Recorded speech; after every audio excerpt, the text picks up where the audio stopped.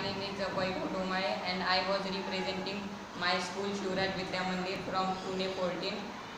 So uh, मे मेरे प्रिय शिक्षक कौटाई सर जो हमें इंग्लिश सिखा सिखाते थे मतलब मुझे छठी कक्षा तक ए बी सी डी और स्मॉल स्मॉल स्पेलिंग के अलावा कुछ ज़्यादा इंग्लिश आया नहीं करता था मेरे दोस्त रिलेटिव्स भी मुझे ताने मारा करते थे इसी वजह से मैंने भी सर को, सर से इंस्पिरेशन लेकर इंग्लिश सीखना खुद से ही शुरू किया। इसके बाद मैं थोड़ा थोड़ा करते सीखते गया। सर ने हम हम, हमको सिखाना बेसिक से स्टार्ट किया और फिर नौवीं में हमारी इंग्लिश में पूरी पीएचडी कर दी।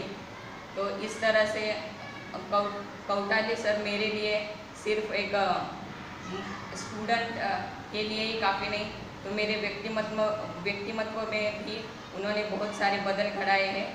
वो हमेशा कहते थे कि जैसे मैं तुम्हें नॉलेज देता हूँ, वैसे ही तुम दूसरों को दो।